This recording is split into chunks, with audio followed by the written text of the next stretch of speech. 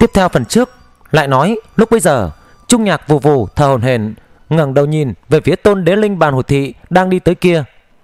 Ở trong đại lục đạo luân hồi, hắn chính là quỷ thần đại đế, vốn cho rằng chính mình đã đủ để chống lại đế linh, nhưng hiện tại xem ra vẫn còn có sự chênh lệch không nhỏ.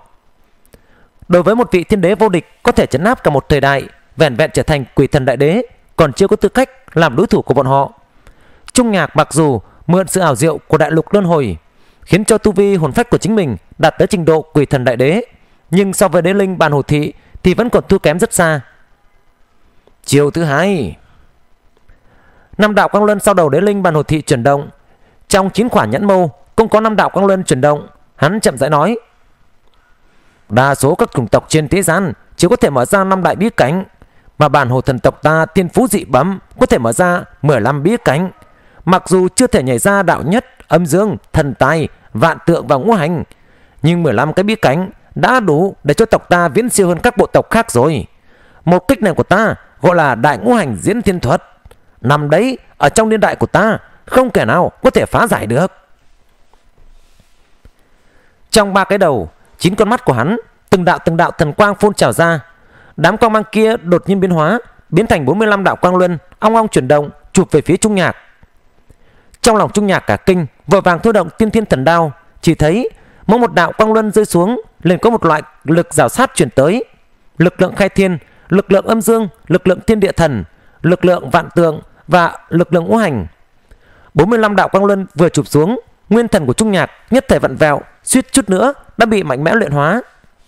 Mở! Hắn điên cuồng qua đao chém xuống, từng đạo từng đạo quang luân không ngừng xoay chuyển, nhìn không rõ văn lộ đồ đằng, nhìn không rõ kết cấu đại đạo. Đao quang rơi xuống, vừa mới chém ra một lỗ hổng, ngay sau đó lỗ hổng đã biến mất. Mặc cho chảm đạo của hắn lợi hại tới đâu cũng không tìm được điểm đột phá. Mà hắn lại cảm giác được pháp lực của chính mình đang nhanh chóng suy yếu, cảm ứng của chính mình với đại đạo thiên địa cũng đang không ngừng giảm xuống. Không bao lâu nữa, hắn sẽ bị một kích này của đế linh luyện chết. Thất đạo luân hồi, mở! Thiên địa đột nhiên là mầm chấn động, thân hình trung nhạc biến mất khỏi những đạo quang luân kia. Bí cảnh không gian vừa mở ra, đại thiên thể không đều nằm trong sự trưởng khống. Hắn trực tiếp dịch chuyển ra khỏi đạo thần thông đại ngũ hành diễn thiên thuật kia, khiến cho công kích của đế linh thất bại. Tôn đế linh bàn hồ thị kia kêu lên một tiếng kinh ngạc, ngẩng đầu nhìn lên, chỉ thấy bầu trời bị chia ra làm bảy mảnh. Trong mỗi một mảnh đều có một tôn trung nhạc từ bốn phương tám hướng chém về phía hắn. Thất đạo luân hồi sao? Rồi không gian luân hồi ư? Đế linh bàn hồ thị kinh ngạc tán thưởng. Bí cảnh của ngươi vô cùng kỳ lạ và kỳ diệu, có rất nhiều chỗ bất phàm. Ngươi thông qua thất đạo luân hồi công kích ta, khiến cho ngươi nhìn qua giống như có bảy người, quả thật rất cao. Khó trách, đám mộ bối ta muốn diệt trừ ngươi, còn cần tế tử triệu hồi năm tôn đế linh chúng ta hạ giới như vậy. Bảy gã trung nhạc thông qua thất đạo luân hồi công kích, thoạt nhìn giống như là bảy người, nhưng thật ra chỉ có một người. Dùng lời nói có có thể diễn giải, nhưng đối với tồn tại đẳng cấp như đế linh bàn hồ thị, lý giải cũng không chút khó khăn. Đây chính là tương đương với trung nhạc đang đứng trước bảy cái cửa sổ trọng điệp, bảy cái cửa sổ này chồng lên nhau. Trung nhạc vươn tay về phía cái cửa sổ trước mặt, bàn tay hắn sẽ xuyên qua cả bảy cái cửa sổ. Nếu mỗi một cái cửa sổ chính là một cái thế giới, bảy cái thế giới trọng điệp với nhau, vậy người đứng sau cửa sổ nhìn ra bên ngoài sẽ nhìn thấy bảy gã trung nhạc, bảy bàn tay đang đưa vào trong bảy cái thế giới. Cộng thêm diệu dụng của thất đạo luân hồi, vì vậy liền đã có cảnh tượng bảy gã trung nhạc đồng thời tấn công về phía đế linh bàn hồ thị. Chiều thứ ba Đế linh bàn hồ thị đột nhiên bạo khởi. Năm đạo quang luân phía sau ba cái đầu dung hợp lại. 15 đạo quang luân hợp lại làm một khí tức của hắn nhất thời tăng vọt đánh thẳng về phía bầu trời. Một kích này khiến cho đại lục đạo luân hồi của trung nhạc vặn vẹo va chạm. Bảy gã trung nhạc trong thất đạo luân hồi trong lúc bất chợt bị mạnh mẽ nhất trung tại một chỗ, biến thành một gã trung nhạc duy nhất. Ngay vào lúc này, một đạo kiếm mang lóe lên từ thiên ngoại, một cái đầu to lớn khôn cùng lăn xuống. Ngoại trừ cái đầu này ra, còn có một cỗ thi thể không đầu. Đế linh bản hồ thị thu hồi thần thông, lạnh nhạt nói, xem ra người đã thua rồi, vẫn là không cách nào tiếp được chiêu thứ ba của ta.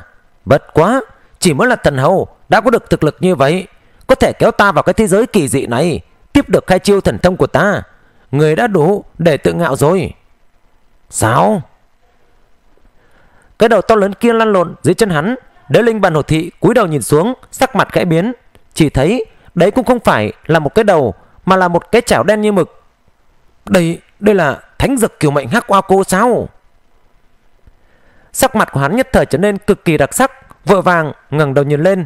Chỉ thấy cỗ thi thể không đầu vừa rồi đã biến thành một cây nấm lớn cổ quái phần mũ nấm giống như từng cái từng cái chảo đen lớn.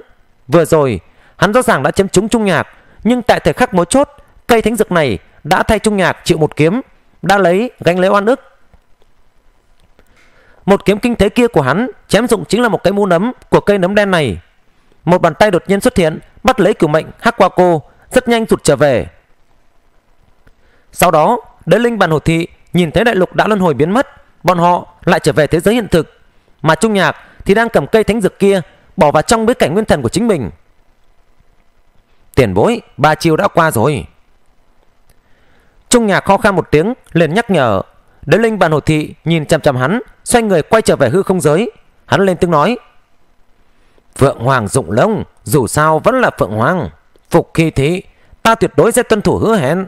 Người có thể đi rồi. Bất quá thanh âm của hắn từ xa xa truyền tới nói chúng ta còn có khả năng gặp lại. Lần tới nếu ta biết người đã có kiểu mệnh hắc qua cô vậy người sẽ không dễ dàng tránh thoát một kiếp nạn như vậy đâu. Trung nhạc xóa đi vết máu trên khóe miệng cười hăng hắc nói tiền bối lần sau gặp lại sao người biết ta không phải đã là cường đại hơn ngươi rồi? Đới linh bàn hồ thị khẽ nhíu mày phóng người rể vào hư không giới biến mất không thấy đâu nữa. Hừm, thật sự là lời nói trở con con đường tu hành, mặc dù ngươi có rất nhiều sáng kiến của chính mình, nhưng ngươi vẫn còn rất xa chưa đạt tới chân lý đâu. Thần thức của hắn truyền vào trong não hải của trung nhạc. Trung nhạc khẽ mỉm cười, nghĩ muốn thi triển ra nhục thân tiên thiên, đột nhiên phun ra một ngụm tiên huyết, sắc mặt hắn không khỏi khẽ biến, vội vàng chui vào trong tầng tầng không gian, tận lực chấn áp tương thế. Đám người mặc ẩn, thiên tiên nương nương, đang cách đây không xa, nhất định sẽ cảm giác được thần thông ba động ở nơi này, chạy tới đây kiểm tra chỉ là hiện tại, hắn bị thương rất nặng, còn phải luyện hóa thần thông đế cấp, lưu lại trong cơ thể, mới có thể tiếp tục lên đường được. Cũng không lâu lắm, đám người mặc ẩn đã tìm tới. Vô số cao thủ bàn hồ thị nhao nhao hiện ra chân thân, cái mũi người người ở khắp nơi rồi lên tiếng. Dịch quân vương đang trốn ở phụ cận. Bàn kê cũng người một cái, khẽ nhíu mày nói. Hắn hẳn là đang trốn trong u không thế khởi đế binh, bức hắn đi ra đi đám tộc nhân bàn hộ thị lập tức tới khởi đế binh. Bàn kê người một chút, vết máu của trung nhạc, giơ tay lên chỉ về một chỗ trong không gian, rồi quát lớn. Oanh kích nơi đó cho ta. Âm âm. Uy năng đế binh hào hào đáng đáng, trùng kích thẳng tới. Những nơi đi qua không gian không ngừng tiêu tán. Trong mơ hồ, đám người chỉ thấy dịch quân vương đang ngồi xếp bằng, ngồi trong u không. Ngay sau đấy, liền bị uy năng của đế binh đánh tan. Đã chết rồi sao? Mạc Cẩn và Thiên Tiên Nương Nương đều nhất thời ngẩn ngơ, Dịch quân vương đã bị đạo uy năng đế binh vừa rồi Đánh chết hay sao? Thời điểm không gian vỡ nát, Đám người tận mắt nhìn thấy Trung ngạc quả thật Đã chết dưới uy năng của đế binh. Chỉ là trí tướng dịch quân vương nổi danh khắp thiên hạ, Vậy mà cứ như vậy Bị đánh chết ở chỗ này, Khiến cho bọn họ ít nhiều Cũng đều cảm thấy không thể tin nổi. Hai tay Thiên Tiên Nương Nương đột nhiên đan sen, Dệt ra một sợi tơ nhân quả, Lướt như một cái, Sắc mặt kịch biến vội vàng nói, Hắn vẫn chưa chết, Vừa rồi chỉ là một cỗ phân thân của hắn mà thôi. Thanh âm của nàng vừa dứt, Trung nhạc đột nhiên từ trong tầng tầng không gian đi ra, Xuất hiện ngay bên cạnh nàng, Nhẹ nhàng, ngắt một cái trên má của nàng. Trên trán thiên tiên nương nương toát ra một hối lạnh, Chỉ nghe bên tai vang lên một tiếng cửa lớn, Trung nhạc đã biến mất không thấy đâu nữa. Đám người bàn kê một lần nữa thôi động đế binh đánh tới, Thế nhưng làm sao còn có thể bắt được bóng dáng của hắn ở đây? Lâm vào tình cảnh như vậy, Vẫn có thể trốn thoát được. Mạng của dịch quân vương thật sự rất lớn. Mạc ẩn không khỏi tán thán nói, chư quân, Lần này phục sát vẫn chưa tính là thất bại. Dịch quân vương đã bị thương nặng, Nhất định sẽ chạy tới phá thiên quan. Hắn đấu một trận với đế linh, Thương thế trong nhất thời một khắc, Khó có thể khôi phục lại được. Dọc đường tất nhiên sẽ phải dừng lại chữa thương. Chúng ta lập tức truy kích.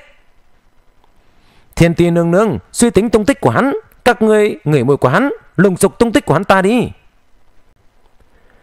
Đám cường giả bàn hộ thị nhất thời gật một cái Đám người mặc ẩn lập tức truy đuổi không buông Thương thế của Trung Nhạc quả thật rất nặng Trước đây thiên tiên nương nương diệt ra tơ nhân quả của hắn Trung Nhạc sẽ lập tức cảm nhận được Xuất thủ chặt đứt tơ nhân quả.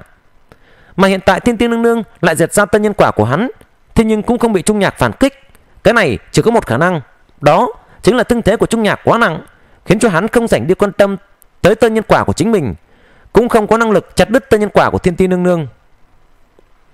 Kỳ quái, thiên ti nương nương, dịch quân vương không phải là kẻ ngu dốt, sao lại rõ ràng? Đã chạy thoát rồi còn quay trở lại như vậy đấy. Cặp mày của mặc ẩn nhíu chặt Nói với thiên ti nương nương. Chẳng lẽ hắn là vì nàng thiếu nữ bàn hồ thị Đã bị bắt đi kia sao? Hẳn không phải à Dịch quân vương mặc dù có chút tháo sắc Thế nhưng cũng không tới mức vì một nàng nữ tử Không chút quen biết mà thân lâm mạo hiểm như vậy. Thiên tiên nương nương có chút suy tư nói Chẳng lẽ trước đây bọn họ từng gặp qua sao? Hoặc là bản thân nàng nữ tử bàn hồ thị kia Có bí ẩn gì đấy? Tộc trưởng bàn kê, Ngươi đi tìm hiểu một chút lai lịch của vị nữ tử kia đi. Bàn kê lập tức lệnh cho một vị tộc lão đi tìm hiểu. Không bao lâu sau, Vị tộc lão kia quay trở lại bẩm báo. Nàng nữ tử bị dịch quân vương bắt đi kia, Tức là bản tố lâm, Là hỗn huyết giữa thiên phượng hoàng tộc Và bản hồ thị ta. Năm xưa bản hồ thị chúng ta Tại thời đại địa ký phong quang vô hán, Thiên nữ của thiên phượng hoàng tộc, Gả vào bàn hồ thị ta, Lưu lại hỗn huyết phượng hồ. Đồng thời, có được khuyết mạch của bàn hồ và thiên phượng. Đây là lần đầu tiên bàn tố tâm rời khỏi thiên hạ chi châu. Nàng chỉ vừa mới tu thành thần minh, Trước đây hẳn là chưa từng gặp qua dịch quân vương này. Mạc ẩn và thiên tiên nương nương liếc nhìn nhau một cái, Trong lòng đều hồ nghi không thôi. Thiên tiên nương nương lẩm bẩm nói, Lẽ nào dịch quân vương Thật sự là háo sắc ngập trời, Sắc tâm vừa lên ngay cả mạng mình cũng không cần hay sao? Mạc ẩn lắc đầu nói, Hắn không giống lại người như vậy đâu. Hắn bắt đi bản tố tâm nhất định là có mưu đồ gì đấy. Lại nói, Trung nhạc liên tục thiểm độn trong không trung, Thân hình đột nhiên lảo đảo một cái, Ngã vào trong một quả tinh cầu. Lại không áp chế được thương thế nữa rồi. Trung nhạc dâng lên một tiếng, Không thể không một lần nữa chấn áp thương thế. Mặc dù hắn đã đón đỡ được ba chiêu của đế linh bàn hồ thị, Nhưng duy của thần thông đế cấp cũng không dễ dàng luyện hóa tiêu trừ như vậy Mặc ẩn và tiên ti chắc chắn sẽ không bỏ qua cơ hội này. Ta có thể che giấu khiếu giác của bàn hồ thị, nhưng đạo nhân quả của thiên ti lại có thể thôi diễn hướng đi của ta. Hơn nữa, ở đây còn có một tiểu nha đầu liên tục báo tin. Tâm niệm của hắn khẽ động, nàng thiếu nữ bàn hồ thị kia từ trong bối cảnh nguyên thần của hắn té ngã ra ngoài, đặt mông ngồi bệt xuống đất, trong tay còn cầm lấy một cây đồ đằng thần trụ, hiển nhiên là đang tiến hành liên lạc với bàn hồ thị. Giống, thật giống. Trung nhạc nhìn chằm chằm dung mạo của nàng Không ngừng lầm bầm nói Thế gian này Làm sao lại có hai nữ tử giống nhau đến như vậy? Người tên gì? Nàng thiếu nữ bàn hồ thị kia bị hắn nhìn tới mức Sợ đến nổi da gà Trong lòng lo sợ bất an Đánh bạo nói Ta, ta tên là bản tố tâm Dịch quân vương. Ta biết rõ ngươi thần thông quảng đại Cho dù là ước vạn thần ma cũng không đối phó được với ngươi. Cần gì phải ước kiếp một nàng nữ tử như ta đây? Bản tố tâm ư Cái tên không sai, Nhưng họ thì phải sửa lại Trung nhạc thu hồi ánh mắt, Tiếp tục tiến hành chữ thương, Cũng không ngẩng đầu lên, Bình thản nói, Sau này, ngươi tên là Hiếu Tố Tâm. Bản tố tâm phẫn nộ nói, Làm gì có đạo lý vừa gặp mặt, liền khiến người ta đổi họ, đổi tên như vậy? Trung nhạc mắt đứt tai ngơ, Toàn tâm toàn ý mà chữ thương. Bàn tố tâm lướt nhìn hắn một cái, Đánh bạo, lui về phía sau hai bước trong lòng thầm nghĩ, Thừa dịp hiện tại đào tấu, Hắn nhất định sẽ không phát giác ra. Nàng phóng thẳng lên không trung, Bỏ chạy ra ngoài. Chỉ trong chốc lát, Nàng đã bay ra khỏi quả tinh cầu này. Quay đầu lại nhìn thấy Trung Nhạc cũng không có phát hiện. Lúc này mới thở phào nhỏ nhỏ một hơi. Tên ma vương này Rốt cuộc là muốn làm gì đấy Sao lại bắt cóc ta đấy May mà cô nương ta thông minh lanh lợi, Mà đây là nơi nào? Nàng đảo mắt quan sát bốn phía, Chỉ thấy phiến tinh vực này Mười phần xa lạ trong lòng tầm nghĩ Tựa hồ chưa từng tới qua nơi này. Ừ, Cứ lựa chọn một phương hướng Hẳn là sẽ không có thể rời khỏi đây rồi. Nàng lựa chọn một phương hướng Không ngừng bay thẳng về phía trước. Trải qua mười mấy ngày Bàn tố tâm đã bay đi không biết bao xa Quay đầu nhìn lại Trong lòng hân hoan vạn phần.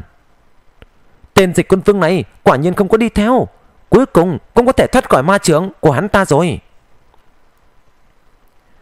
Nàng vừa mới suy nghĩ tới đây, Đột nhiên bên tai vang lên một đạo thanh âm. Mặc ẩn ở bàn hồ thí, Lại đuổi theo. Thật là âm hồn không tán mà.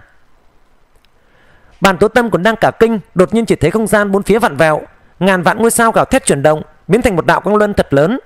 Nàng đang đứng trong đạo quang luân kia, chỉ có thể nhìn thấy phần gáy một tôn cự nhân đỉnh thiên lập địa ở trước mặt chính mình. Mấy ngày nay, nàng vậy mà đều đang chạy tới chạy lui trong quang luân của trung nhạc. Thủy trung cũng chưa thể đi ra khỏi bí cảnh nguyên thần của trung nhạc. Càng đáng sợ hơn nữa chính là nàng vậy mà không nhìn ra đây là bí cảnh nguyên thần. Tuy tu vi của nàng không cao, nhưng dù sao cũng là thần minh. Bí cảnh nguyên thần của trung nhạc hư không tạo vật, ngay cả nàng cũng có thể giấu giếm được. Đây rõ ràng là tiêu chuẩn của tạo vật chủ. Trung nhạc đứng dậy, bước về phía trước một bước. Chỉ thấy ngàn vạn ngôi sao giống như ánh hình quang, không ngừng lui về phía sau. Bàn tố tâm vừa tức vừa giận, lấy ra một kiện thần binh, ném về phía sau gái của trung nhạc nhưng kiện thần binh này còn chưa đi tới bên cạnh trung nhạc, đã đột nhiên nổ tung, biến thành bột mịn. Không nên hổ nháo. Thanh âm của trung nhạc vang lên, bàn tố tâm cả giận, gần như hét lớn. Sao ngươi lại bắt cóc ta? Trung nhạc lặng im không đáp, tiếp tục lên đường. Bàn tố tâm cả giận nói, cho dù ngươi chiếm được thân thể ta, cũng không chiếm được trái tim ta đâu.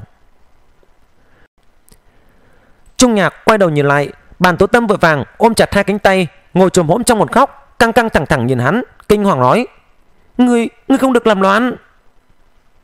Trung nhạc cười ha nói, ngươi yên tâm, tao là người đã có gia thất rồi, sẽ không làm sang làm bẫy bàn tố tâm càng thêm sợ hãi, thất thanh nói người dự định sau khi làm sang làm bẫy sẽ giết người diệt khẩu hay sao?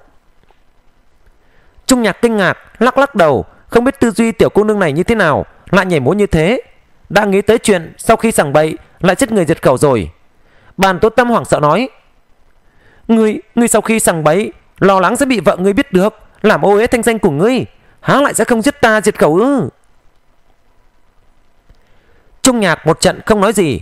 Phía sau tinh không đột nhiên nứt ra, một kiện đế binh thật lớn cắt ra tầng tầng không gian. Sau đấy, một đạo quang mang bạo phát, phóng thẳng về phía bọn họ. Bàn tố tâm vừa mừng vừa sợ, mỉm cười nói tộc trưởng bọn họ đã tới cứu ta rồi. Dịch quân vương, nếu ngươi hiện tại thả ta ra, bọn họ còn có thể tha cho ngươi một mạng. Bằng không bằng không, ngươi sẽ chạy trời không khỏi nắng đâu. Trung nhạc bật cười nói, bọn họ tới cứu ngươi sao? Hiếu tố tâm, ngươi quá đề cao chính mình rồi. Bàn tố tâm cả giận nói, ta không phải họ hiếu kìa, ta họ bàn. Trung nhạc đột nhiên bắt lấy nàng, Dùng nàng đón đỡ đạo quang mang do kiện đế binh kia bắn tới. Hắn lên tiếng nói, Nếu bọn họ quan tâm ngươi, Tất nhiên sẽ thu hồi đạo uy năng này. Ngươi nhìn một chút xem bọn họ Có quan tâm đến tính mạng của ngươi hay không? Đạo quang lưu kia vẫn không hề chuyển hướng, Tiếp tục bắn thẳng về phía bọn họ.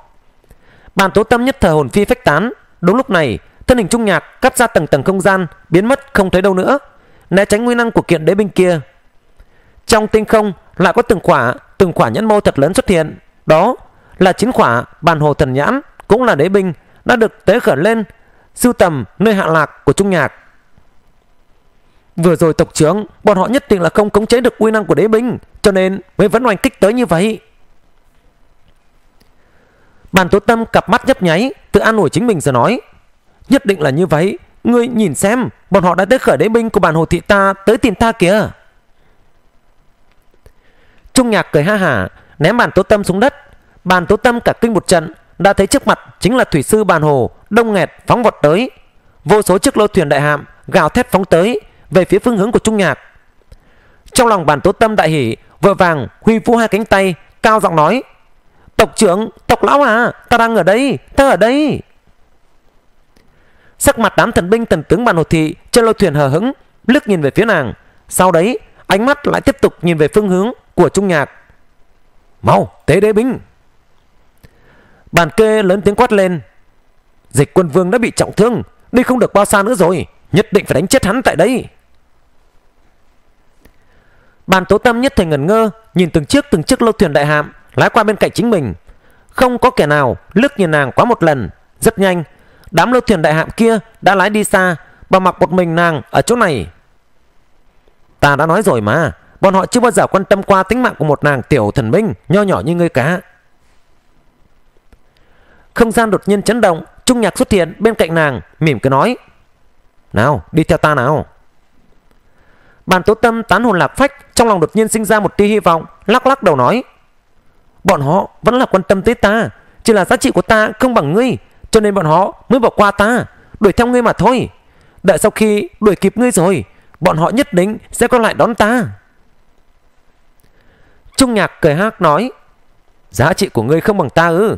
Liền có thể bỏ mặc tính mạng của ngươi ư? Có đúng như vậy không? Bàn tố tâm nhất thời ngẩn ngơ, Lắc lắc đầu nói, Tộc trưởng bọn họ sẽ không làm như vậy đâu. Trung nhạc đột nhiên cắt đứt cổ tay của nàng, Lấy ra một đoàn tinh huyết, Mỉm cười nói, Bản hồ thị các ngươi có hóa sinh huyền công đúng không? Hiện tại, hãy biến đoàn tinh huyết này của ngươi thành phân thân. Ngươi nhìn xem bọn họ có phải sẽ làm như vậy hay không? Bàn tố tâm khẽ cắn răng, Phân cắt nguyên thần, Luyện đoàn tinh huyết này của chính mình thành một cỗ phân thân. Trung nhạc phun ra một ngụm tinh khí, Rơi vào trong cơ thể phân thân của nàng. Tu vi của cỗ phân thân này nhất thời, Thẳng tắp để thăng Đạt tới cảnh giới thần minh. Nhìn qua không có gì khác biệt So với bản thể của bàn tố tâm. Trung nhạc phất đống tay áo, Giấu nàng vào trong bí cảnh nguyên thần của chính mình. Đúng lúc này, Chỉ thấy đám người bàn kê Đã phát hiện ra tung tích của bọn họ, Lập tức giết thẳng tới. Bàn kê tiến về phía trước một bước, Vươn tay chụp về phía Trung nhạc. Trung nhạc cua đao chống lại, Thân thể lảo đảo, lùi về phía sau. Đột nhiên phóng người nhằm một cái, Biến mất không thấy đâu nữa. Lưu phân thân của bản tố tâm lại tại chỗ. Bàn tay của bàn kê lập tức chuyển hướng, Bắt lấy phân thân của bản tố tâm, Cười lạnh một tiếng, cao giọng nói. Dịch quân vương, Nếu người không xuất hiện, Ta sẽ bóp chết á. Đám lâu thuyền đại hạm phía sau bay tới Tầng tầng vây quanh bản kê Tới khởi đế binh bàn hồ thị, Bộ dáng sắt khí đằng đằng. Phân thân của bản tú tâm run giọng nói, Tộc trưởng, Ta là hậu bối của ngươi, Sao, do ngươi có thể? Bàn kê vận chuyển pháp lực, phong ấn một thân tu vi của nàng, Khiến cho nàng nói không ra lời. Hắn ca giọng nói, Dịch quân vương, Ngươi nhiều lần vì nữ tử này, Thân lâm mạo hiểm, Có thể thấy được nàng đối với ngươi vô cùng trọng yếu. Bằng không, sẽ không thể khiến cho ngươi Nhiều lần mạo hiểm vì nàng. Nếu ngươi không chịu xuất hiện Ta sẽ bẻ một cánh tay của nàng. Thanh âm trung nhạc từ thiên ngoại truyền tới Cười lạnh nói Nàng ta là tộc nhân của ngươi Ngươi lại muốn bẻ cái cánh tay của nàng ta sao? Bàn kê dùng sức kéo một cái Mạnh mẽ kéo một cánh tay từ trên thân thể phân thân Bàn tố tâm xuống. Hắn cười ha hả nói Bẻ gãy một cánh tay của nàng Thì thế nào chứ? Ta đếm đến ba. Nếu ngươi còn không hiện thân Ta sẽ là bẻ gãy một cánh tay của nàng. Một, hai, ba Trung nhạc vẫn không hiện thân Bàn kê kéo một cánh tay còn lại của phân thân bản tô tâm xuống Rồi lạnh lùng nói Ta lại đếm ba tiếng Nếu ngươi còn không xuất hiện Ta sẽ giết chết nàng Một hai, ba. Xoẹt. Cái đầu của phân thân bản tố tâm rơi xuống đất, chết oan chết uổng.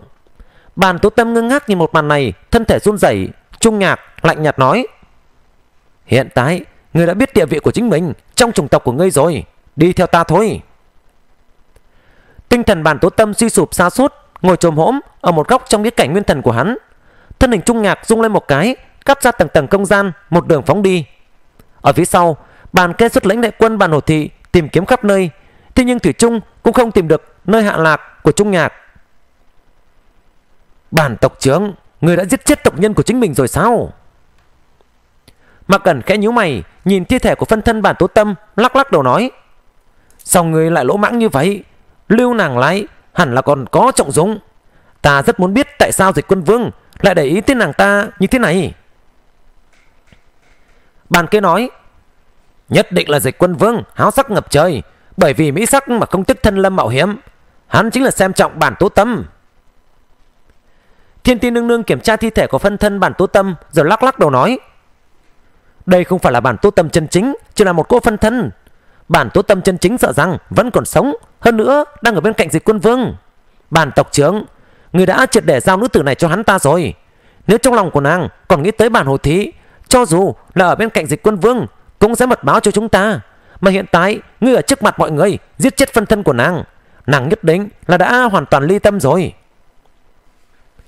Bàn kê khẽ nhíu mày nói, Ý của nương nương là Thiên ti nương nương than thở Chúng ta đã không có khả năng lưu lại dịch quân vương nữa rồi Thường thế của hắn không sai biệt lắm Là đã lành rồi Tất nhiên sẽ trở lại phá thiên quan Chủ trưởng đại cục Thời điểm này nếu có bản tố tâm làm nội ứng Sẽ có thể khiến cho chúng ta chết ít đi rất nhiều tướng sĩ, thương phong, thương vong khi bắt lấy phá thiên quan cũng giảm đi rất nhiều.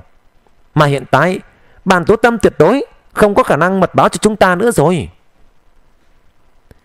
Bàn kê tỉnh ngộ lại trong lòng ảo não không thôi. Sao dịch quân vương, lại lưu ý đến nàng ta như vậy, Không có bất kỳ đạo lý nào. Mạc cẩn suy tư nói, Bản tố tâm đối với hắn, Rốt cuộc là có lợi ích gì đây? Thiên ti nương nương mỉm cười, Đừng để ý tới chuyện này nữa, Chúng ta cần phải lập tức chạy trở về. Bằng không nếu dịch quân vương chạy tới phá thiên quan trước chúng ta một bước, Nhất định là sẽ nhân cơ hội Dốc hết đại quân, Phá vỡ đại quân vây thành của chúng ta. Trong lòng mặc ẩn, nhất thể nghiêm nghị. Hắn và thiên tiên nương nương đều đang ở đây. Nếu trung nhạc trở về phá thiên quan trước, Sẽ không ai có thể ngăn cản được hắn. Đại quân vây khốn phá thiên quan tất nhiên Sẽ tử thương thảm trọng. Tử quan quân vương có nhãn lực này, Nhưng lại không có năng lực này. Về phần đám đế tử kia lại càng là ngay cả nhãn lực Cũng không có. Bất quá dịch quân vương tuyệt đối Vừa có nhãn lực này cũng có năng lực này. Đây chính là cơ hội lật ngược thế cờ, Trực tiếp đánh tan đại quân thiên đình.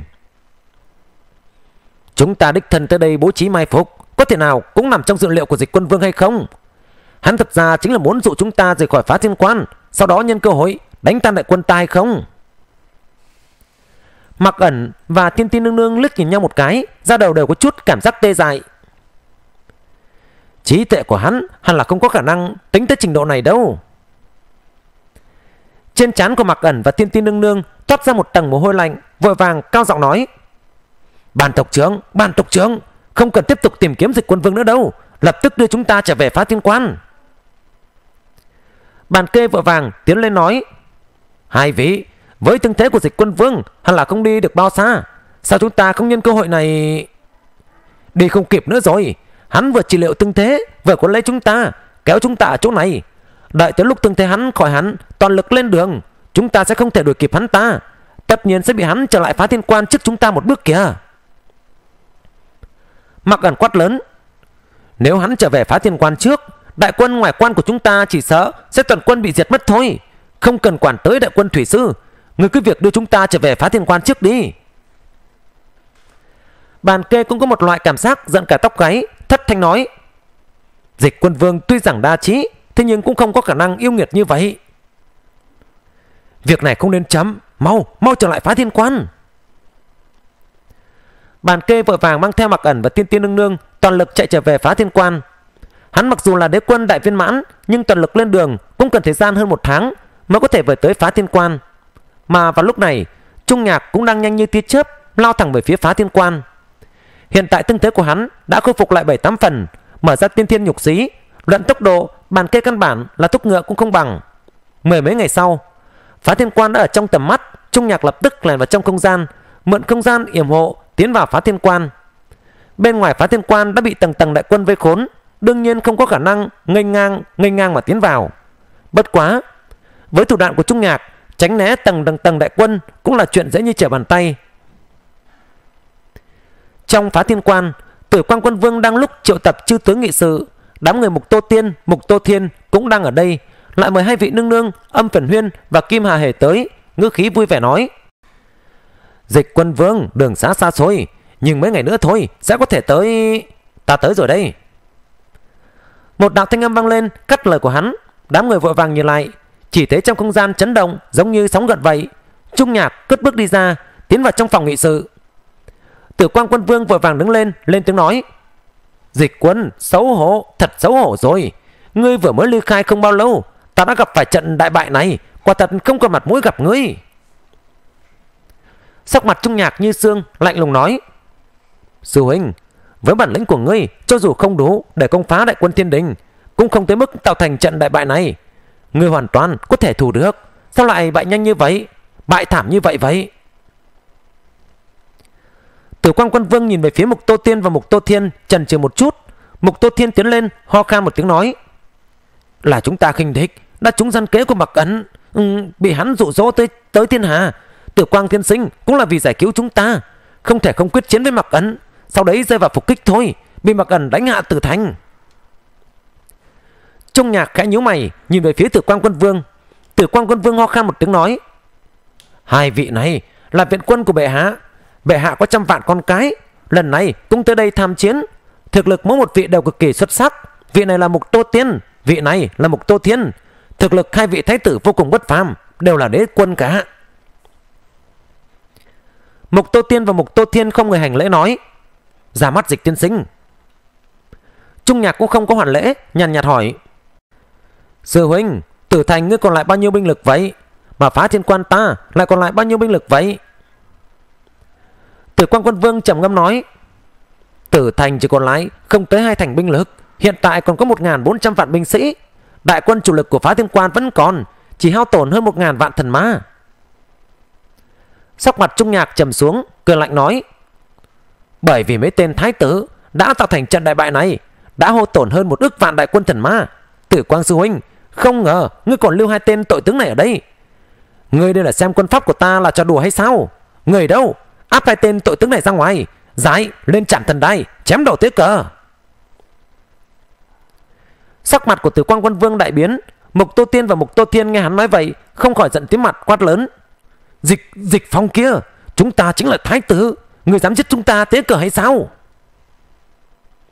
Người, người bất quá Chỉ là thần tử của phụ hoàng Lại dám giết thái tử hay sao? Đám người phù lê, phù kỳ chi Tới khởi phù tăng thần thụ Chấn áp Mục Tô Tiên và Mục Tô Thiên Phong ấn thần thông và pháp lực của bọn họ. Trung nhạc vất tay nói Áp lên chạm thần đài. Mục Tô Tiên và Mục Tô Thiên vừa sợ vừa giận Tử quang quân vương vội vàng nói Dịch quân, Ngàn vạn lần không thể. Bọn họ mặc dù chiến bại, Nhưng dù sao cũng là thái tử của bệ hạ. Nếu chấm đầu bọn họ Dưới quân Pháp, Không có phân chia thái tử cùng với thứ dân. Chỉ cần phạm sai lầm lên phải thụ hình. Bằng không lập ra quân Pháp có ích lợi gì đây? Hai vị thái tử này Đã làm hại ước vạn tính mạng đại quân thần ma ta.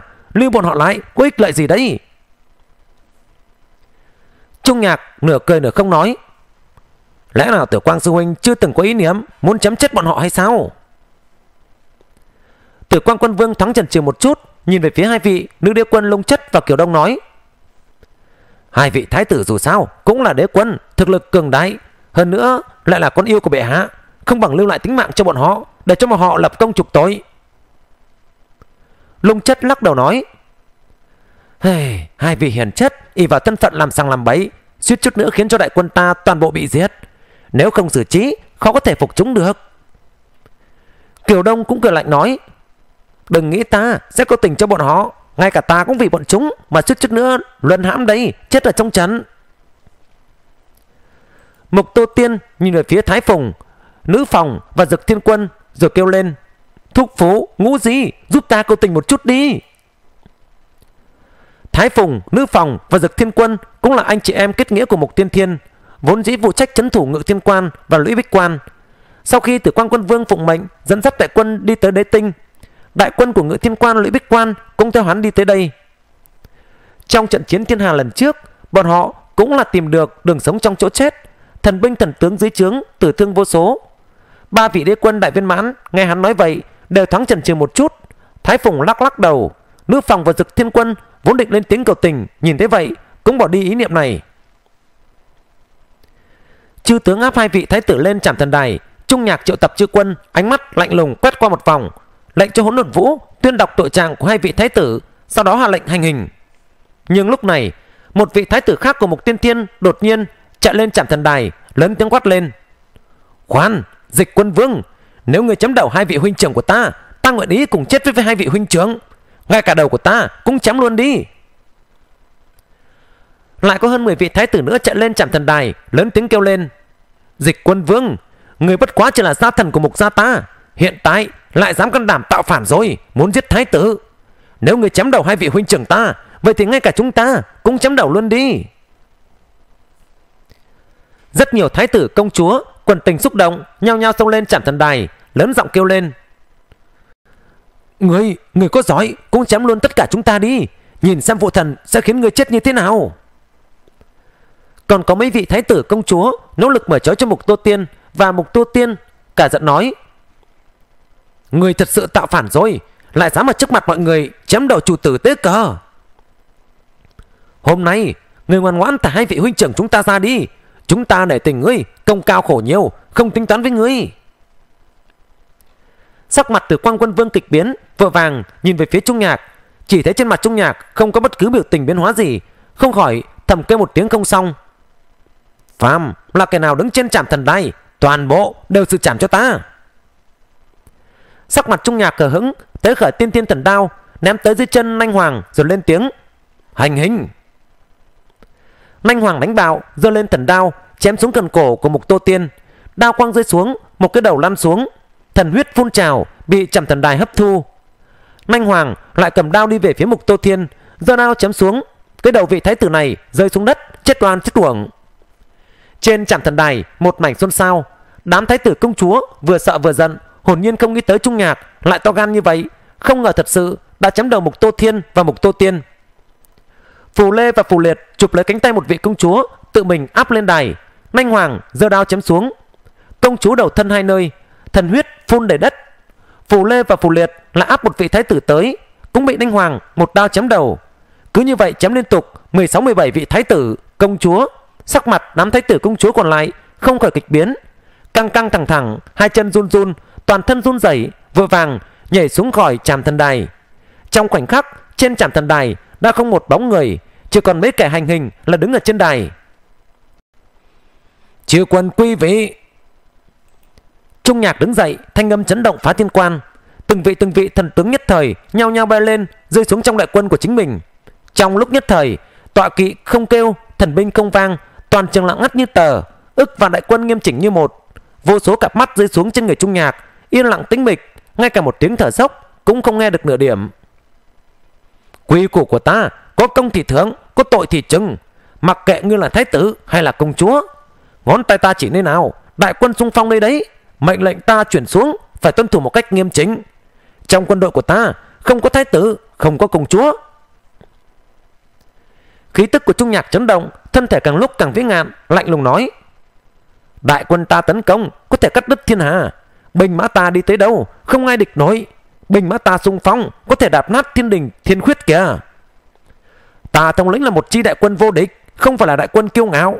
Ta muốn thống lĩnh các ngươi làm dạng dỡ tổ tông, phúc cấm con cháu. Các người muốn vinh hoa, muốn phú quý ta cho. Giờ cao thanh đao đi theo ta, giết ra phá thiên quan nào. Sĩ khí phá thiên quan nhất thời sôi trào, ức vạn thần ma trên ý ngập trời. Trung nhạc tiến về phía trước một bước, xuất lĩnh tiên thiên cấm quân giết ra khỏi cửa thành, cao giọng quát lớn. Đi theo ta, cầm chắc đao kiếm của các ngươi, ta dẫn các ngươi giết ra một cái tương lai. Giết! Vô số thần ma điên cuồng hét lớn, dưới sự xuất lĩnh của chư tướng xông ra phá thiên quan, phóng về phía địch quân ngoài quan.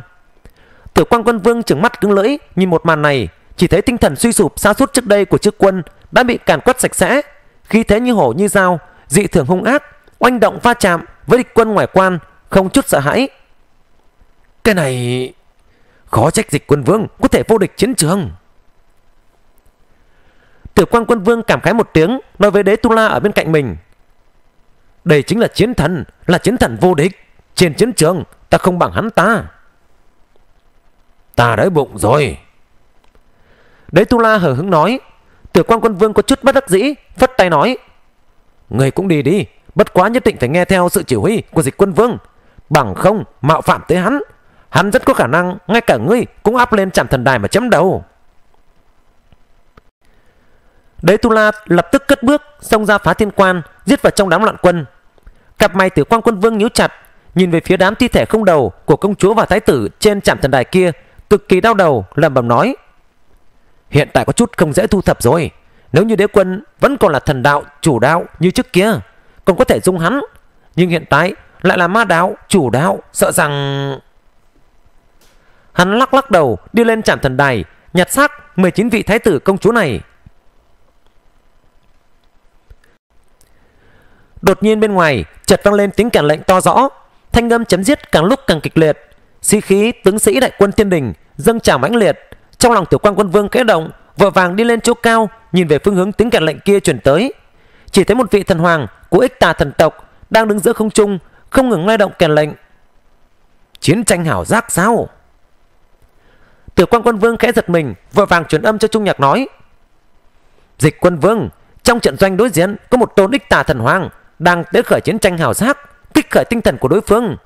Cho dù ngươi có giết chết nhiều địch binh đi tới đâu, tinh thần của đối phương cũng sẽ không suy sụp, tuyệt đối sẽ không đầu hàng, sẽ huyết chiến với người tới cùng kìa. Tuyệt đối sẽ không đầu hàng sao? Trung nhạc thoáng gần người, men theo tiếng gần lệnh, nhìn lại, khẽ mỉm cười. Vậy thì giết sạch bọn họ Không chừa một móng vậy Lại nói Tốc độ của bản kê mặc dù cực nhanh Nhưng về tới phá thiên quan Vẫn là đã hơn 10 ngày sau Mặc Cẩn và Thiên Tiên Nương Nương ẩn thân trong bối cảnh nguyên thần của bản kê Từ xa nhìn lại Trận chiến vẫn còn đang diễn ra, Thanh âm sát phạt dâng lên bốn phía. Tướng sĩ song phương chiến ý nhất trời, Khiến cho ngay cả thiên khung cũng nhuộm thành Một mảnh huyết hồng sắc. Trong lòng ba người đều là vui vẻ. Vẫn còn không tính là quá muốn Bất quá, Tới khi bản kê tiếp cận phá thiên quan, Trong lòng ba người đều là một mảnh lạnh lẽo. Muộn mất rồi. Một màn trước mắt khiến cho trong lòng ba người tuyệt vọng. Chỉ thấy đại quân thiên đình đã bị phân cắt Thành trên dưới 100 khối. Rơi vào trong một trận bao vây tiêu trừ Tiên thiên cấm quân xuyên toa như rồng Không ngừng xen kẽ qua trên dưới 100 khối chiến trường kia Khiến cho đại quân thần ma của thiên đình Không thể tụ tập lại Hình thành nên sức chiến đấu Mà trên chiến trường thỉnh thoảng lại vang lên tiếng kèn lệnh lại khiến cho đại quân thiên đình triệt để mất đi cơ hội đào tẩu. Chiến tranh hào giác có thể kích phát ý chí chiến đấu, không chút sợ hãi. Nhưng nếu ý chí chiến đấu quá mạnh, ngược lại cũng không có chỗ tốt gì, mất đi năng lực xem xét thể thế, tùy cơ ứng biến. Hết rồi, hết thật rồi. Mạc Cẩn giơ tay lên chỉ về phía gã nam tử thổi chiến tranh hào sắc kia, lạnh lùng nói: "Cái tên kia là ai? Sao lại hãm hại đại quân thiên đỉnh ta như vậy?" Cặp mắt của bản kê khẽ nhau lại Tinh tế quan sát lắc lắc đầu nói Tựa hồ là một vị thần hoàng ích tà thần tộc Ích tà thần tộc có thâm kiều đại hận gì Với thiên đỉnh hay sao Sao lại muốn diệt tuyệt đại quân thiên đỉnh ta như vậy trong lòng thiên tiên nương nương kẽ động, Vội vàng âm thầm liên lạc với ích tà thần hoàng. Ích tà thần hoàng lập tức thu hồi chiến tranh hào giác, Xoay người rời đi. Thiên tiên nương nương trầm ngâm nói, Hơn phân nửa là trợ thủ giao dịch quân vương mời tới rồi. Cái tên này giao du rộng rãi. Nghe nói, gã ích tà thần hoàng tuổi kèn lệnh này Cũng từng tham gia đại hội chư đế tương lai. Trong lòng mặc ẩn thầm than một tiếng nói, Sau trận đại bại này, Sợ rằng không thể giữ được hạ du thiên hà nữa rồi. Bản tộc trưởng Ngươi lập tức đi tới thiên hạ chi châu, Chuẩn bị ở nơi đó nghênh chiến. Bàn kê gật đầu nói phải, Vội vàng lên rời đi. Ích tà thần hoàng đã rời đi, Đại quân thiên đình đang lúc liều chết chiến đấu, Rốt cuộc tỉnh táo trở lại. Dã mắt nhìn theo, khắp nơi đều là quân địch, khắp nơi đều là thi thể đồng liêu đồng bạn. Trong lòng không khỏi đại kinh hãi, vội vàng đột phá vòng vây mà đào tẩu. Lâu chính sư, thần thiên vương, ma thiên vương và tướng lĩnh tứ đại sư môn cùng với đám người đình đạo cực, đình ngọc cực mỗi người xuất lính đại quân đột phá vòng vây. Trung nhạc cũng không lấy cứng trọi cứng với bọn họ, mà là từ mặt bên và hậu phương không ngừng tầm ăn dỗi. Giống như một đám cá mập không ngừng cắn xé, thôn phệ lực lượng còn lại của bọn họ. Đám người lâu chính sư cũng không thể làm gì, Chỉ đành liều mạng chạy về phía thiên hà. Trung nhạc không nhanh không chậm đuổi theo. Thủy sư âm khang thị tới khởi lâu thuyền đại hạm, Từ trên thiên hà giết qua. Mặc ẩn và thiên tiên nương nương giá ngự một chiếc thuyền nhỏ chạy tới. Lâu chính sư vội vàng đón hai người lên xoáy hạm, Sắc mặt xấu hổ nói, Ta không ngờ được, Dịch quân vương đột nhiên trở về, Đã bị hắn phá vỡ trận thế đại quân ta rồi. Hiện tại miễn cưỡng, tụ tập không tới 2.000 vạn đại quân. Mạc Cẩn lắc lắc đầu nói Thắng bại là chuyện thường tình của binh gia. Dịch quân vương vậy mà có thể chạy ra khỏi Bẫy dập do ta và nương nương bố trí. Dưới sự bao vây tiêu trừ của năm tôn đế linh, Vẫn còn sống sót xông ra ngoài. Ngay cả ta cũng không thể ngờ tới được. Tội này không trách các ngươi. Dịch quân vương so với trước đây Đã cường đại hơn quá nhiều rồi. Là do ta dữ liệu thiếu sót thôi. Lâu chính sư phẫn nộ nói, Mẹ nó chứ, Nếu không có tên ích tà thần tộc thổi kèn lệnh kia, Thương vong có khả năng sẽ giảm đi hơn phân nửa. Đáng giận Đáng giận thật mà. Tên ích tà thần tộc kia Dùng chiến tranh hào giác, Khích lệ sĩ khí bên ta, Khiến cho thần binh thần tướng không chút sợ chết. Mất đi thể cơ tốt nhất để lui lại Không nghĩ tới Bộ hạ dịch quân vương lại còn có kỷ nhân dị sĩ như vậy Suýt chút nữa Đã một lưới bắt hết toàn bộ đại quân ta rồi Mạc Cẩn cũng nghi hoặc không theo nói Chiến tranh hảo giác vốn là dùng để khích lệ sĩ khí, khiến cho thần ma ở trên chiến trường bạo phát ra thực lực càng mạnh hơn. Dịch quân vương vậy mà dùng chiến tranh hảo giác ở trên người quân đội chúng ta. Cách dùng này thật ra là vô cùng kỳ lạ. Sắc mặt thiên tiên nương nương ửng đỏ cũng không tiếp lời bọn họ. Ích tà thần hoàng chính là minh hữu của nàng. Cũng giống như nàng đều đang hiệu lực dưới chứng của cùng một tôn đế. Bất quá, cả hai người cũng không phải là đại tướng cầm binh mà là kẻ chủ mưu nhiễu loạn thiên hạ. Bọn họ ai cũng có sở trường riêng bình thường đều là hành tẩu trong bóng đêm cũng không thường xuyên lộ diện lúc trước nhấc lên thiên hạ đại loạn chính là thiên tiên nương nương liên thủ với ích tà thần hoàng mà lần này trợ giúp đại quân thiên đình diệt trừ trung nhạc thiên ti nương nương trực tiếp đi tìm mặc ẩn, còn ích tà thần hoàng thì ẩn thân ở một nơi bí mật gần đấy.